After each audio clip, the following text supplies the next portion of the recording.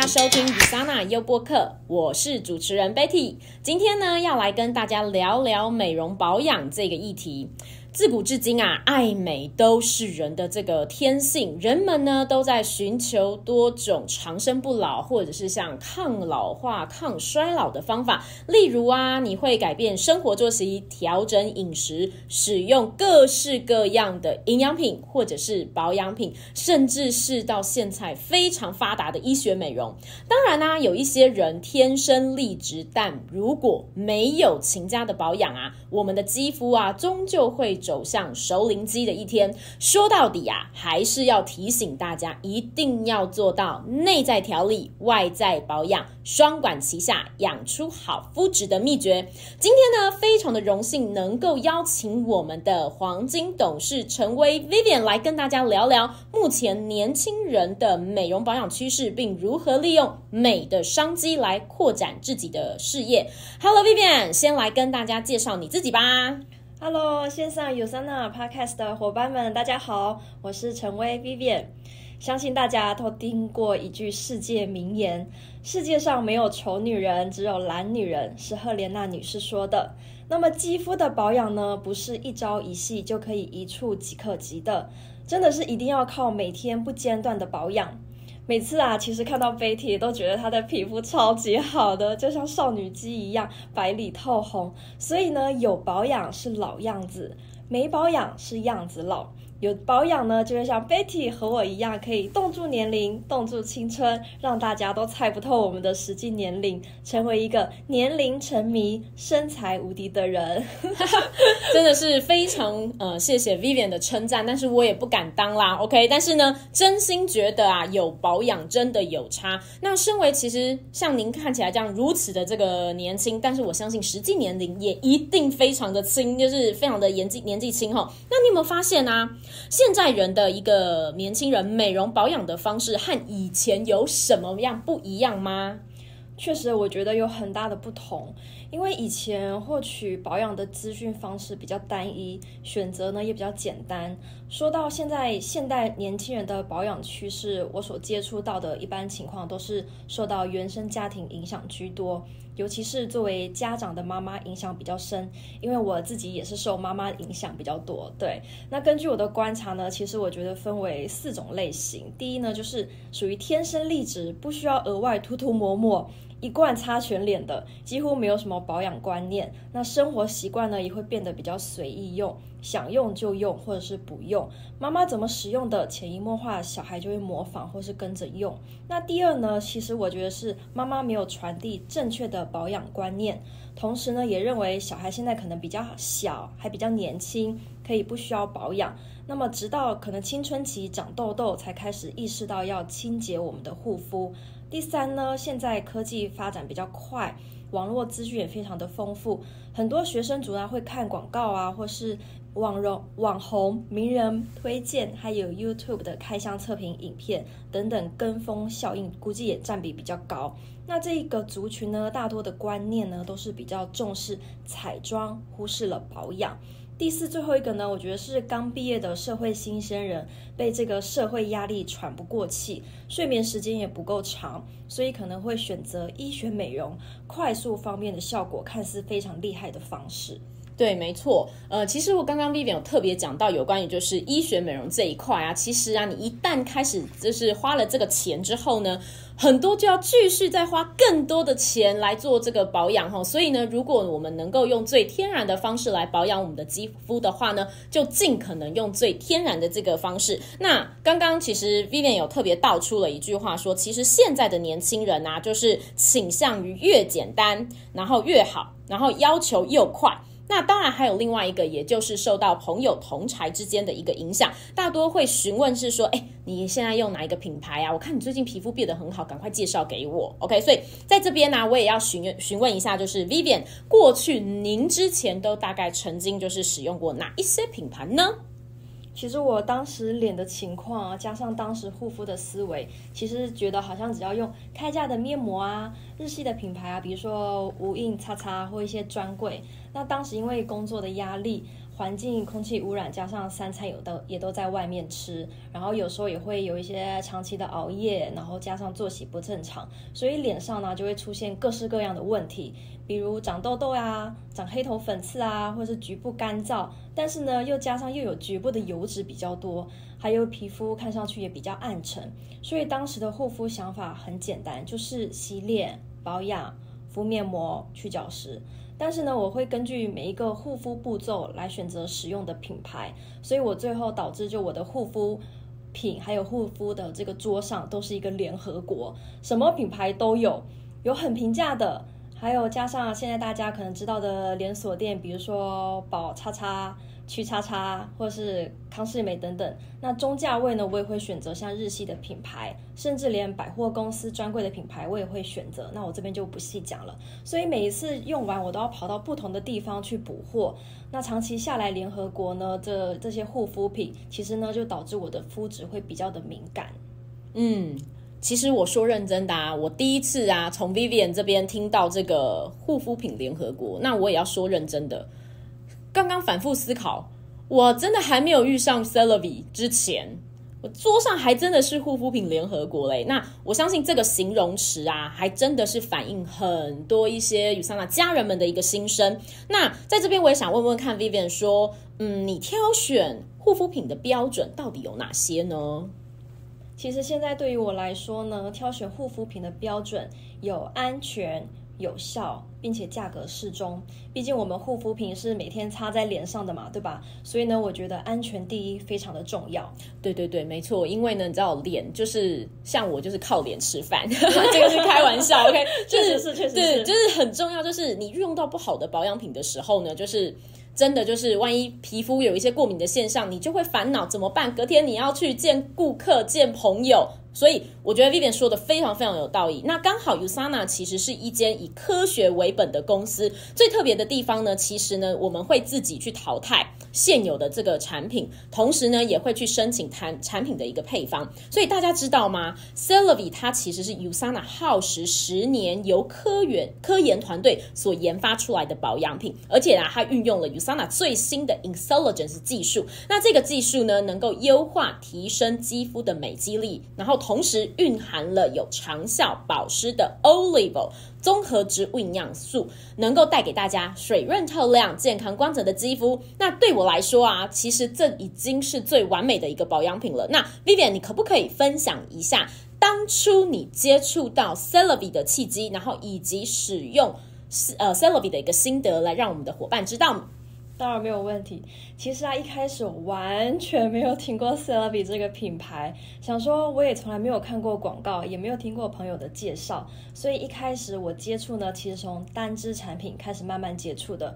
后来发现，哎，使用上没有任何的不适感，就慢慢的加产品使用。后来从深层去角质面膜膏，还有深层保湿紧致面膜开始加，慢慢发现 c e l a v i 产品其实性价比蛮高的。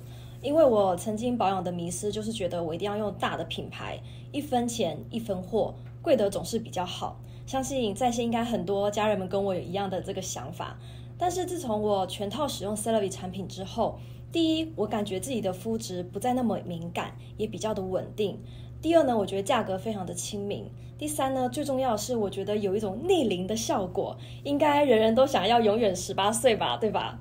所以呢，也因为 c e l a v i 产品呢，用在我自己的脸上，真的是有很明显的感受。我出去和朋友见面，都会说：“天哪，你的脸怎么这么亮？皮肤怎么这么好？到底是用了什么东西？”也就是因为有太多的朋友给到我正面的反馈，我觉得一定要分享给我一样爱美、爱漂亮、爱保养的男生还有女生们，慢慢的给他们做体验示范。那刚好呢，前段时间我和家人在台北吃饭，在结账的时候。老板娘就随口问我说：“哎，你有没有学生证？”那当下呢，我心里其实是非常非常的高兴，因为啊，每天好好的保养，居然可以让我重返学生的颜值。我和老板娘说：“哎呀，我早就已经毕业十几年了。”老板娘就说：“真的假的？我还以为你是附近学校的学生。”老板娘一脸的不相信。所以啊，我真的觉得认真使用 c e l b 产品，真的会让我维持住脸上的胶原蛋白，让衰老来得慢一点。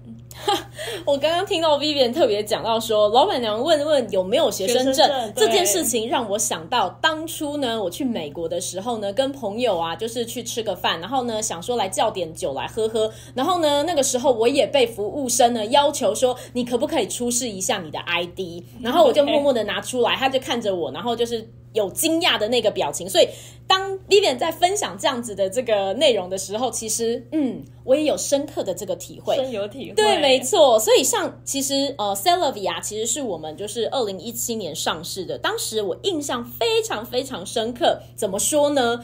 就是当家。大家开始使用 Celebi 的时候呢，全脸呈现透亮光泽的肤质，所以呼应了刚刚 Vivian 所说的就是哇，大家的脸真的全部都亮了起来。所以果真好东西，真的就是要让。好朋友大力的这个认识，以及我们要多多分享哈。那肯定呢，大家使用完之后呢，发现你的肤肌肤变透亮之后呢，一定是大大爱上 Celebi 的。所以像我自己，我说认真的，我自己其实就是产品的这个爱用者。我们其实人人，我跟 Vivian 两位其实也都是 Celebi 的一个代言人哈。那其实我对 Vivian 会开始有印象，也是因为他跟伙伴们开始办了很多超级吸睛。吸眼球会吸引我注意的一些软性的一个主题的派对，那为什么我想问 Vivian，为什么你会想要举办这个呃一些软性的活动呢？因为就像我刚刚和大家分享这个故事，我觉得产品用在我的脸上效果真的很好，也让我的皮肤变得有光泽、干净还有透亮。人变人变漂亮了，自然也就会越来有自信，对吧？加上身边的朋友也会来询问。一开始呢，我其实都是个别分享。那毕竟因为一个人的力量有限，不如号召大家的力量，能够把分享的力量放大，影响力放大。分享自己和朋友变美的故事，可以帮助更多爱美、想要变漂亮的朋友。所以呢，我才有举办派对或者是。软性活动的这个初心和想法，想要保持这份分享的初心，加上啊，现在是个颜值经济的时代，大家都是看脸，所以呢，我们成年人不做选择题，不仅要内在美，更要外在美。真的，真的，因为 Vivian 这样讲没错哈，人人其实都是靠，我觉得讲白一点话，白话一点，就是大家都是靠外表在吃饭，因为第一印象。大家跟你说话，第一印象除了眼神对焦之外，最重要就是那一张脸。OK，对，所以那我也知道，就是说办一个活动，就是嘴巴讲啦。OK，我们说一个活动很容易，实际你要去做操作的时候呢，真的很不容易。那这边 Vivian 可以分享一下，就是说您跟这个伙伴是如何策划这些派对的。确实，就如 Betty 所说，一个人可以办派对，但是呢，没有办法办一场非常成功的派对，需要集结志同道合的伙伴们，那就不一样啦。所以呢，我是靠着团队合作，可以举办一场成功的派对的。团队伙伴呢，也都各自有各自的长处，可以让他们发挥。一场成功的这个派对呢，我觉得有三点内容非常的重要。第一呢，就是其实是事前的这个筹备小组，我们需要有一些流程的安排，包括讨论分工，还有现场布置、邀约确认等等。那其实第二点呢，就是事中我们的细节服务，我们要确保我们邀请的新朋友来，他感觉到这个氛围气氛非常的温馨，而且感觉到非常的快乐有趣，而且有这个融入感，不会觉得来参加这个派对或活动非常的尴尬。那最后一个呢，也是我觉得最重要，就是事后我们要有这个复盘跟总结。所以呢，做得好的部分呢，我们下次继续保持；那做得不好的部分呢，我们就下次改进，让我们的派对跟活动越来越好，也会让参加来的朋友呢觉得哎非常有趣，想要再次来参加。哇，我觉得。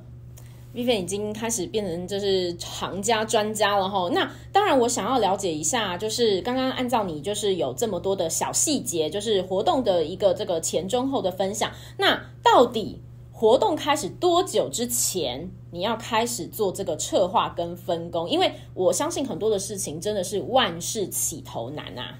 对，确如像 Betty 说的，其实一开始呢，其实我们也是在摸索如何举办一场成功的派对，确实花比较多的时间，那至少可能提前一个月以上开始来策划跟安排。后来团队伙伴呢也慢慢找到这个办活动派对的感觉，找到属于自己的工作岗位，在办活动的过程中呢，也找到自我的成就感以及娱乐感，所以呢，大家也慢慢的熟能生巧，我们彼此之间也有了默契，筹备的时间呢就慢慢的缩短。不过，诚如 Betty 所说的，真的很多事情真的是万事起头难。一开始举办活动的确需要花时间跟花心思。没错，没错。我刚刚这样子，其实从以前，因为我们看到的都是看到结果，但是在这个结果的背后，真的是花了很多的时间去筹划。那当然，我们讲到说，注重活动细节，注重顾客的体验，都可以让新朋友对你们的印象大大的增加。像复杂的事情简单做，你就是行家哦。简单的事情重复做，你就是专家。重复的事情啊，用心做，你就是赢家。所以啊，对我来说，Vivian 跟您的这个伙伴，其实现在已经不只是行家、专家，根本就是所谓的这个派对赢家了嘛。那可不可以再分享一下呢？就是你怎么样让每一次的派对都可以这样子引人注目啊？没有啦，不敢说自己是专家和赢家啦。我们其实一直都是在每次的活动过程中学习跟调整。那么在举办每一次的派对呢，我们真的需要非常真心诚意的邀约，加上呢可以举办主题活动的，呃，可以举办这个主题限定活动。比如说，我们可以参考一些。呃，市面上比较红的电影，像去年我们就参考了《芭比》这个电影。那在筹备的过程当中呢，其实一开始大家对于这个粉红色也是接受度不是那么的高，因为可能大家会觉得哇，粉红色太少女了，男生可能真的会有点排斥。但是呢，没想到在派对的当天呢，大家的 dress code，天呐，一个比一个还要芭比，一个比一个还要肯尼，所有来参加的新朋友都感觉好像心态啊，跟这个脸都感觉年轻了很多很多。那加上呢，另外我们也会呃主题的这个限定活动，我们就会专门有一个。专门拍照打卡的区域，所以可以让大家尽情的拍照，享受派对还有节日的仪式感。另外呢，我们也会在万圣节啊或圣诞节等等节日，我们也会办主题的派对。有有有，我之前有看到 Vivian 她的脸书上面，哇，大家就是一整个粉红色。然后呢，万圣节的话，就是大家就是一整个就是你知道有那个万圣节的派对的 feel。然后特别是。呃，你们扮演了那个 Wednesday，就是星期三里面的那个女生，就是每一个人都非常的到位。那当然还有圣诞节，那圣诞节就是不外乎让人家想到的就是红色、绿色。那你们也都就是呃，就是呈现的非常非常完美哈。所以你知道每一个节日我都印象深刻。那当然 对，当然刚刚 Vivian 有特别说到说，其实现在的人啊，真的真的很注重所谓的仪式感，又很爱拍照，然后拍完照之后呢，马上又想要上传。就是不论他是打卡或是上线动，然后就是很喜欢分享给他朋友的做分享哈。那当然，我觉得这个是很重要。为什么？因为当你今天上传的时候，大家就会看到你哇。你办什么样的活动，就开始有大家就是去想要有问你，再继续有下一步的这样的一个情形。那当然我也要特别提到，就是美跟吸睛的派对的确会让人回味无穷。那我也相信，想要了解一下，就是说，当你在派对，就是你知道激情，你知道派对激情过后呢，对对对，你们会怎么样跟就是呃这些新的伙伴，就是保持一个很好的一个关系？嗯，其实，在活动中呢，我们都有进行现场的实际体验。那活动结束后呢，真的有一些新朋友对于 c e l b 非常的感兴趣，就会有直接购买。那当然也会遇到就是可能还在考虑的情况。所以呢，这时候我觉得持续保持良好的关系非常的重要。首先，新朋友呢，我们就是先交朋友、交心，拉近彼此的距离和信任感，使用共同的语言，聊聊共同的兴趣爱好，甚至是利用话题。有的时候呢，我也会直接拿照片和朋友来分享。在聊天的过程当中呢，呃，之后有机会也可以换个品牌试试看，或者是体验新的产品。所以呢，我觉得保持良好的互动，那下次有活动的话呢，也可以再邀请新的朋友再次出席，那我们就可以提供额外的服务，还有专业的价值。没错，Vivian 提到一个很重要哈，因为我们每一个派对活动啊，其实都呃让除了让大家觉得说，哎，你的派对很吸睛之外，其实啊，持续的跟您的朋友保持一个良好的关系也是非常非常重要。要的。但是不论今天是哪办哪一场活动的派对，我这边其实都要讲啊，其实大家都非常注重现在的人，OK，非常注重自己的这个健康，也非常注重自己的这个美丽哈。所以，我我我这边提醒大家，就是说投资自己啊。其实是非常非常重要的，不论今天是在健康或者是美丽的这个层面，其实这个哈，我要跟大家分享一下，这个就是跟买乐透的概念很像，有买有机会，没有买啊，你连一个机会都没有。那如果今天呢，如果你有机会遇到 Usana，遇到 Celavi，你真的真的要给我们这个品牌一个这个机会，为什么？因为它真的会给你。